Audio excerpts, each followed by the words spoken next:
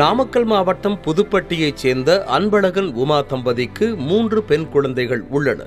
அன்பழகன் கட்டிட மேசரியாக வேலை பார்த்து வரும் நிலையில் ஐந்து வயதாகும் மூத்த மகளான யுகாஸ்ரீ தலசிமியா என்ற நோயால் பாதிக்கப்பட்டுள்ளார். மரபணு நோயான தலசிமியாவால் பாதிக்கப்படுபவர்களின் உடலில் உள்ள இரத்த சிவப்பணுக்களின் எண்ணிக்கை நாளுக்கு நாள் குறைந்து கொண்டே வரும். இதனால் உடலில் ரத்தம் குறைந்து மயக்கம் கை மற்றும் கால்கள் உணர்ச்சியற்று போதல் கடுமையான எடை குறைவு ஆகியவை ஏற்படும்.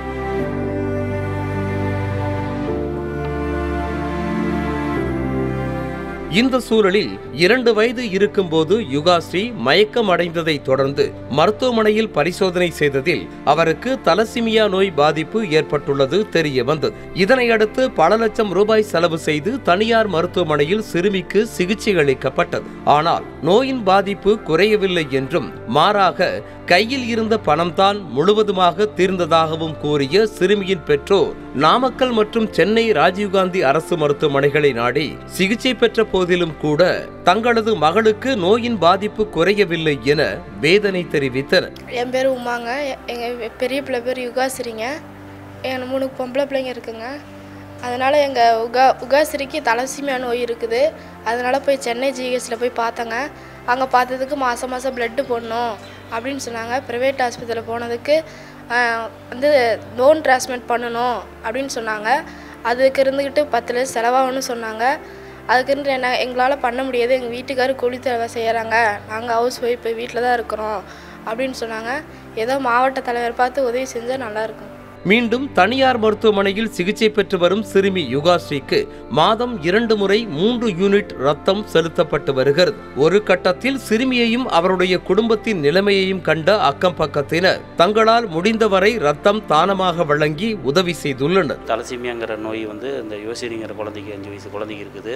அந்த குழந்தைக்கு இருந்ததுனால அவர் வந்து ஏற்கனவே நிறையா வைத்தியம் பார்த்துருக்குறாங்க. அது தருண் ஹாஸ்பிட்டல் சேலத்தில் போய் பார்த்து அது உண்மைங்கிறது தெரிஞ்சிருக்காங்க அது ட்ரீட்மெண்ட்டில் அது மறுபடியும் வந்து சென்னையில் போய் பார்த்துருக்குறாங்க. ராயப்பேட்டை எக்மோரில் போய் பார்த்துட்டு வந்திருக்காங்க. அப்புறம் அங்கே நிறைய செலவு பண்ணியிருக்கிறாங்க. நிறைய வட்டி வாசிக்கெல்லாம் வாங்கி ஏகப்பட்ட சிரமத்தில் இருக்கிறாங்க. பிளட்டு வந்து மாற்றி மாற்றி மந்த்லி ஒருக்க ரெண்டு வாட்டி பதினஞ்சு நாளைக்கு ஒருக்க ஒரு மாதத்துக்கு ஒருக்க ரெண்டு மூணு யூனிட் மாற்றணும் அப்படின்னு சொல்லியிருக்காங்க. நாட்கள் செல்ல செல்ல மாதம் தோறும் ரத்தம் கிடைக்காமல் அன்பழகன் உமா தம்பதி தவித்து வருவதாகவும் கடந்த இரண்டு வருடங்களாக இதே நிலை நீடித்து வருவதாகவும் கூறப்படுகிறது. ஆனால் இதற்கு நிரந்தர தீர்வு காண வேண்டும் என்றால் பத்து லட்சம் ரூபாய் வரை செலவு செய்து சிறுமிக்கு அறுவை சிகிச்சை செய்ய வேண்டும் என மருத்துவர்கள் தெரிவித்ததாக சிறுமியின் தந்தை கூறியுள்ளார். என் பேர் அன்பழங்க வீட்டுக்கிற மாதிரி உமா. பெரிய மொத்தம் மூணு குழந்தைகள். மூணு குழந்தைகளில் மூணுமே பொம்பளை பொன் பொன் குழந்தைகள். அவங்களுக்கு மொதல் குழந்தைக்கு தலசீமியா இருக்குங்க. சேலம் போனாங்க. சேலத்தில் தனியார் ஆஸ்பத்திரியில் தான் கண்டுபிடிச்சி சொன்னாங்க. அங்கேருந்து சொன்னாங்க. சென்னைக்கு போக சொன்னாங்க. சென்னையில் போய் பார்த்தாங்க. சென்னையில் பார்த்ததுக்கப்புறம் தலசேம் இருக்குன்னு கன்ஃபார்ம் பண்ணாங்க. கன்ஃபார்ம் பண்ணிட்டு அவங்க மாதம் மாதம் ப்ளட்டு போட சொன்னாங்க. மாதம் மாதம் ப்ளட்டு போட முடியாதுங்க. நம்மளுக்கு ஒன்றும் அவ்வளோ வசதி ஒன்றும் இல்லைங்க. நாங்களும் அங்கேயும் இங்கேயும் போயிட்டு பண்ணேங்க. ஒன்றும் லாய் லாய்க்கு போடலைங்க. போனீங்கன்னா ப்ளட்டு மாதம் மாதம் எனக்கு பார்த்தீங்கன்னா எட்டாயிரம் செலவாகுதுங்க நான் ஒன்றும் கூலி வேலைக்கு தான் போகிறேங்க நான் மேஸ்திரி தான் செய்கிறேன் வீட்டுக்கு நம்ம வீட்டில் தான் இருக்கிறாங்க.